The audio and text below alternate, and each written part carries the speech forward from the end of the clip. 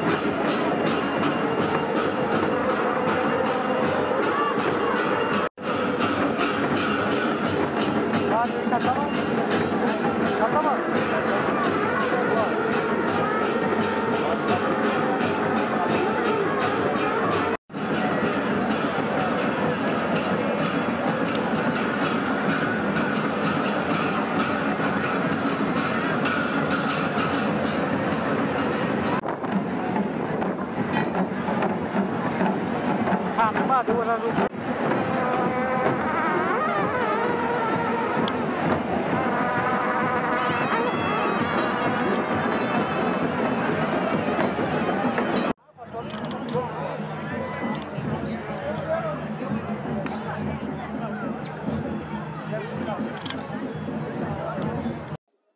देखिए मोहल्ले का अर्थ है कि सभी देवताओं को जो भी पार्टिसिपेशन कर रहे हैं इस दुशहरे में वो सारे उनको निमंत्रण रघुनाथ जी की ओर से होगा कि कल रावण का अंत होना है तो इसलिए आपको युद्ध में जाना है। इसीलिए इस, रात को मोहल्ला कहते हैं और फिर आज भगवान साय पूजा से पहले शयन से पहले। जो जो ये चीज़ है कि अपना रावण की तैयारी उसके लिए दुर्गा पूजा। दुर्गा पूजा करते हैं। दुर्गा का रूप ब्राह्मण का होता है। ब्राह्मण है वो देव, देवी त्रिपुरा सुंदरी का। वो देवी रूप बनता है तो दुर्गा पूजा होती है। और मेरे मेरे हाथों द्वारा वो पूजा की जाएगी और निमंत्रण चला गया है। अब कल रावण का अंत होना है इतना ही रिचुअल रह गया है। तो ये आज की जो जरेब होती है, ये कोई भी ज्वाइन कर सकता है। तो इसलिए सारे इलाके से रहले के लोग थे और दूसरी जगह के लोग व्यक्ति विशेष को आज कोई निमंत्रण नहीं होता। उस साथ साथ इकट्ठे होकर ये लंका यात्रा कल होगी फिर। तो कल सुबह तो पूजन ऐसे होता है हो, होता ही है। जब बड़ी पूजा के बाद फिर तैयारी होती है कि लंका दहन की। और लंका दहन एक जो अपनी ब्यासा नदी है इसके तट पर ही होता है लगभग। पहले तो तट था अब तो वहाँ आबादी है बहुत लगता है कि हम कहीं बीच में कहीं कर रहे हैं। तो वहाँ रथ रुकता है रघुनाथ जी का, जो ऊपर के ग्राउंड में, और फिर हम तर्कस से जब रघुनाथ जी के तीर निकालते हैं, और उन तीरों को मैं लेकर जाता हूँ, और फिर एक व्यक्ति विशेष जाकर मेरे से भी वो तीर ले जाएगा।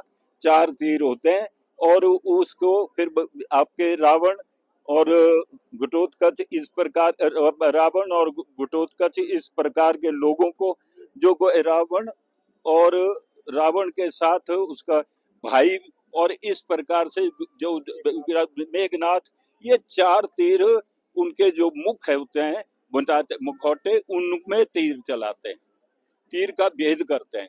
देखिए, आप कहेंगे कि बाकी जगह तो रावण को उसमें पटाखे भर के और उसका इतना अपमान करते हैं, उसको जलाते हैं, यहाँ ऐसा नहीं होता।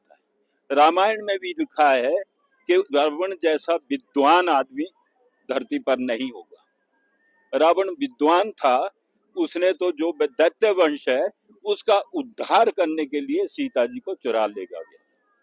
और एक प्रसंग आता है कि जब भगवान राम इस वनवास में थे तो उनके पिताजी दशरथ का स्वर्गवास हो गया तो जब स्वर्गवास हुआ उन्होंने सुना तो और उन्होंने लंका में जाकर कहा कि एक अच्छा ब्राह्मण लाओ। तो अच्छा ब्राह्मण कौन आया? विद्वान कौन आया? रावण। और रावण ने ये कहा कि मैं कुछ अप, अपनी जो पढ़ाई मांगूँगा तो देनी पड़ेगी। तो रघुनाथ जी की ने कहा था कि सीता के अतिरिक्त तुम कुछ भी मांग लो आप विद्वान हैं आप सब कुछ समझते हैं और मैं दे दूँगा। इस प्रकार से हुआ है। हमसे जुड़े रहने के लिए हमारे YouTube चैनल को सब्सक्राइब करें और नई वीडियो की नोटिफिकेशन के लिए बेल आइकॉन को दबाएँ। अगर आप ये वीडियो Facebook पर देख रहे हैं तो लाइक ज़रूर करें और ज़्यादा से ज़्यादा शेयर करें। इसी तरह के और भी अपडेट्स के लिए फॉलो करें हमारा इंस्टाग्राम पेज हिमाचल डॉट